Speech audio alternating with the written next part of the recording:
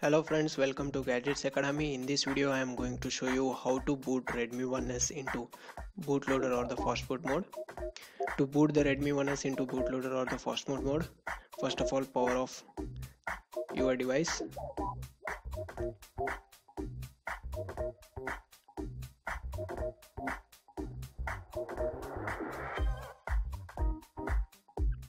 Once you get the haptic feedback, press the volume down and the power buttons first of all press the volume down and then press the power button.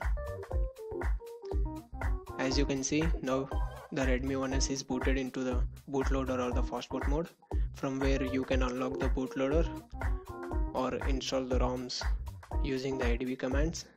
That's it guys. I hope you enjoyed this video. See you in the next video.